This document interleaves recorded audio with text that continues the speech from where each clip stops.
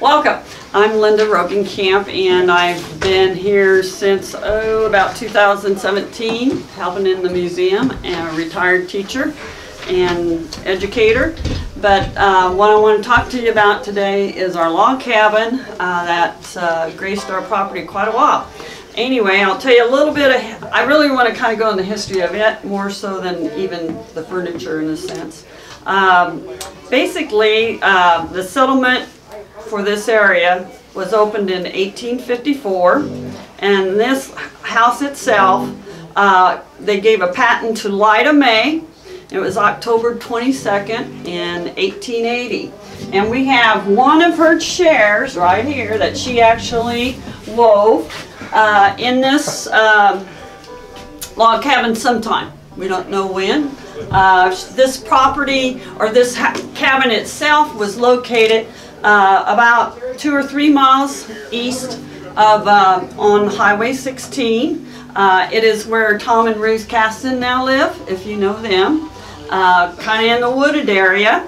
And uh, part of the thing is that this is here because Rick May, he actually kind of would go across field and this old house was there and they would play in it. Well, they finally realized there was, the house was added on to and this cabin was on the inside. Okay, so in 1975, our Historical Society grew and that was the first thing they decided to get something that was historical in the area and they brought it actually downtown and it was on Main Street for quite a while. Um, there, I don't know. I think that yeah on Main Street, if, if you know. Where, I, I, where my shop is. Where your shop is. Okay. Because I thought it was south of the hotel area, Yes. but I, I'm like, I don't know if it'll fit there unless it goes this way, you know? so it was where Bob's uh, uh, shop is right now.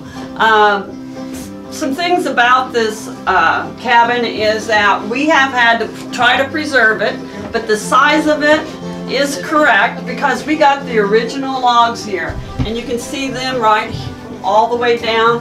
This is not the original chinking. They were trying to preserve it way back when they moved it up here and they actually put some kind of cement. Well, in 2017, we realized there were logs that were starting to rot on the bottom because of the water coming down. So we had some professionals preserve it on the outside and put a type of chinking that's more modern. So the chinking that you see, you can kind of put your fingers into it and it's a little more mobile and it's a little more resistant. Uh, you know, I don't want anybody poking through it, but and then you can see where we had to replace some logs. But you can tell the difference between the logs. These are probably oak, um, and I always do this with the kids when they come around.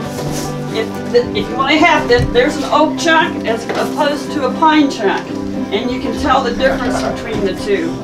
And the chinking here that they did, they put plastic on the inside of it and then put that kind of a rubbery kind of chinking in.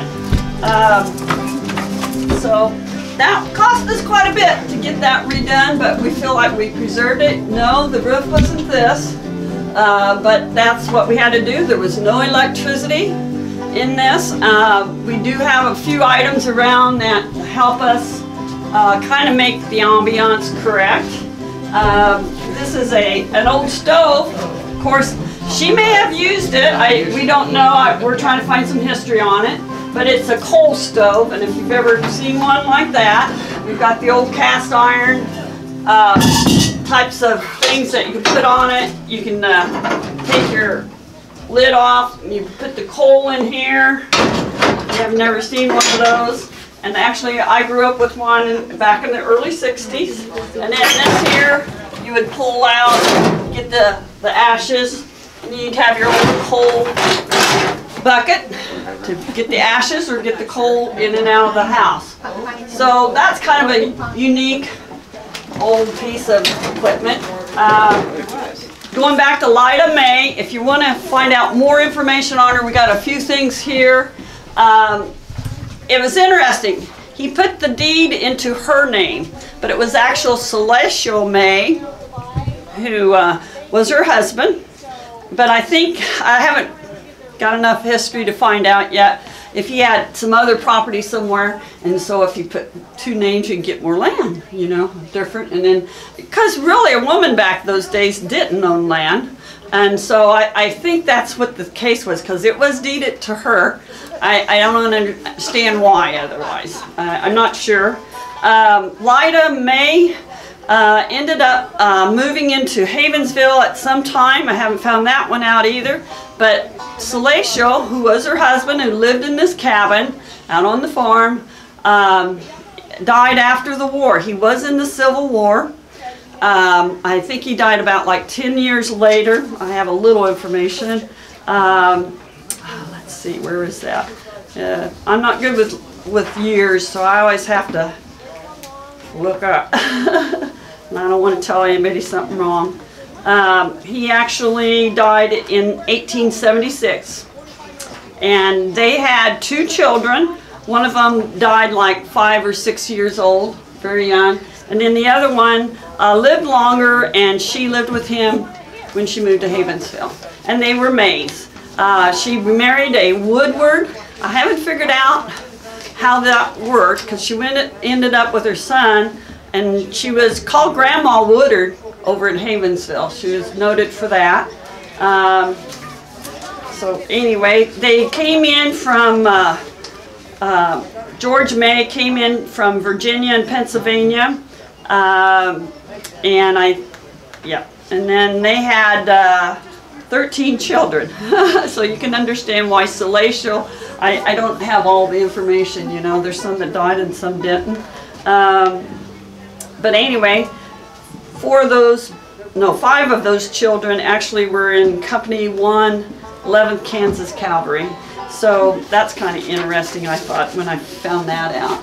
Um, as you look around for the ambiance, uh, I think you can tell this here was where they would put water in and you can heat it up, whether, or to, you know, for bathing, whatever. We have an old time uh, washing machine over here in the back and you can read more about it. We got some old books and uh, stuff. What's kind of unique is this. That was uh, built inside of this cabin. And so when they moved it up here, it just came with it. And when we had to redo the floor because it was rotting, it was a real hassle to try to get it out of here. but, but, but it was built inside of this, and it, it was something else to get it out of here without taking it apart. Um, the, there's kind of a story about it there that you can read on. Here's an original picture of the cabin after they uncovered it and a little more detail about Lida. There's some old square nails if you haven't seen them. We have uh, an old wicker uh, basket, uh, I'm sorry, carriage. And if you go around, we have some oh, spinning, wheels. spinning wheels. You can look at our old, uh, old back here in the corner. It really, we I really would love to see this thing work, but right now we don't. It's the crank for your old uh, phonographs where you would take a cylinder like this back in the, oh I think it, uh, does it say a year? I don't know a year, I need to find that out. But this is actually the record. And you know how they had flat ones later on, most of us grew up with those. But this is the one that would you go in here and then you would turn the crank and get that uh, generator to make that turn and then you'd hear the sound coming out. Um, I have to add something, Linda. Okay. Kind of goes with my spooky tour over there. Oh, right. But we have a finger chopper. Oh, do. I better tell, them, tell about them about that. Yes, all the women in the older days would put their flour and stuff into one of these, and we even got it named flour bin. But be careful because it would come in and you would slam your door and you could get your finger, and it would really hurt. we have some old time type of dishes you can read about a little more. Um, I think, um, oh, I can't think of her name, that she even drew it up for us on her calendar. Um, uh, anyway, not great with names. So let's see, what else? I'm, I'm trying to go fast because I don't want to get, oh, when we redid this, it was close to a little over 20000 to get it refurnished. We've got it covered on the outside, so it's supposed to be resistant to the insects. Um, and then we got the new chinking. They, they lifted it up so that they could get those logs into there. And then a few years later, we really wanted to preserve the floor, but finally gave in because you wouldn't have even been able to walk in here. And uh, a wood floor is usually what, what they had. Um, it was a wood floor before we took it out, uh, but it was rotting too bad.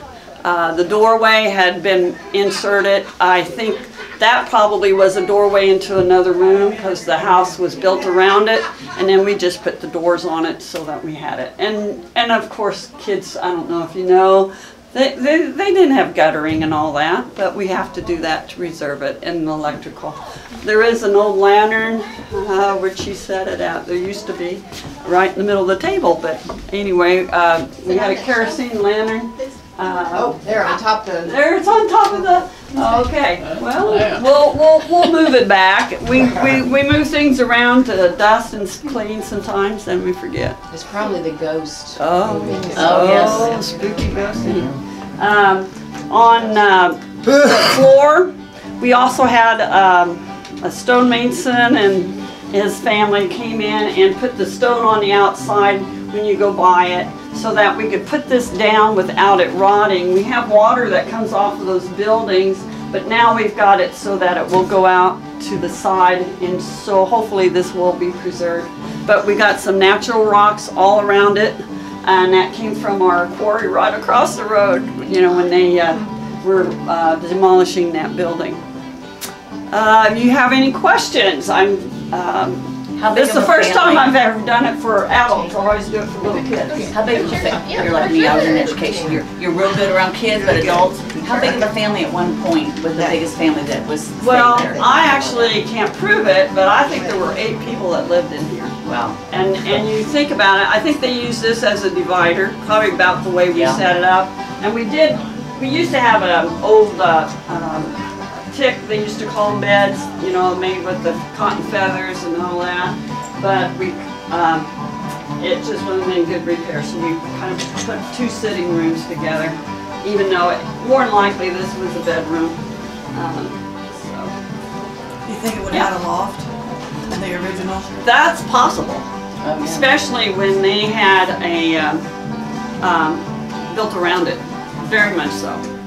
And, and even here, I about wonder, we're gonna have to search that out a little more. I, I don't know any information, so it, it is very interesting. We think this was actually built in the eighteen eighties, so it's well over, getting close, hundred and fifty years. So that's kinda neat. Uh, and we can kind of only imagine, you know, that then, the chinking at that time, uh, they would use, um, straw and some clay material and just stuff it between the uh, logs. We didn't feel real bad about replacing the logs because that is the natural thing of a, of a log cabin, that you have to do that if one does start to rot. So, but we made sure to preserve the size, and we've got some natural logs that were actually out there yet, and then the ones that did rot, we had to replace. Yeah, any other questions? I'm not sure if I can answer them all, but uh, we're, we're enjoying, I, I really, last night, I always go back and try to relook up